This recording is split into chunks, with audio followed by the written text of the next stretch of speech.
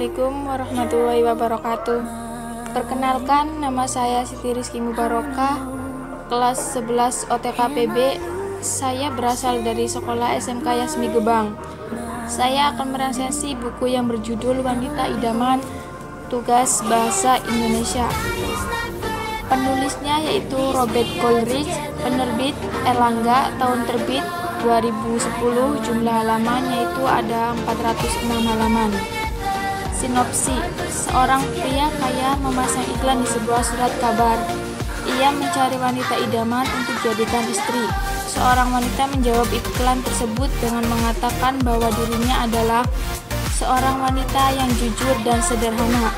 Padahal wanita itu tidak jujur maupun sederhana. Satu-satunya yang ia inginkan hanya menikahi pria itu lalu membunuhnya perlahan-lahan agar kemudian ia dapat menjadi janda kaya raya.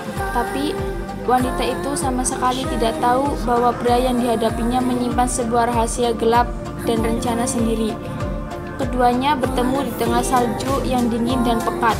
Di benak mereka masing-masing telah tersimpan rencana yang yang untuk satu sama lain, tapi seorang pun tahu bahwa pertemuan itu akan membuat mereka menjalani rencana sang takdir yang telah terbayangkan maupun terelakan.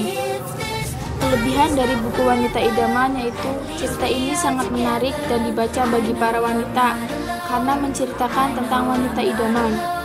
Dan kekurangan buku Wanita Idamannya itu kadang sang pembaca bingung membaca cerita ini karena ceritanya membuat sang pembaca bingung.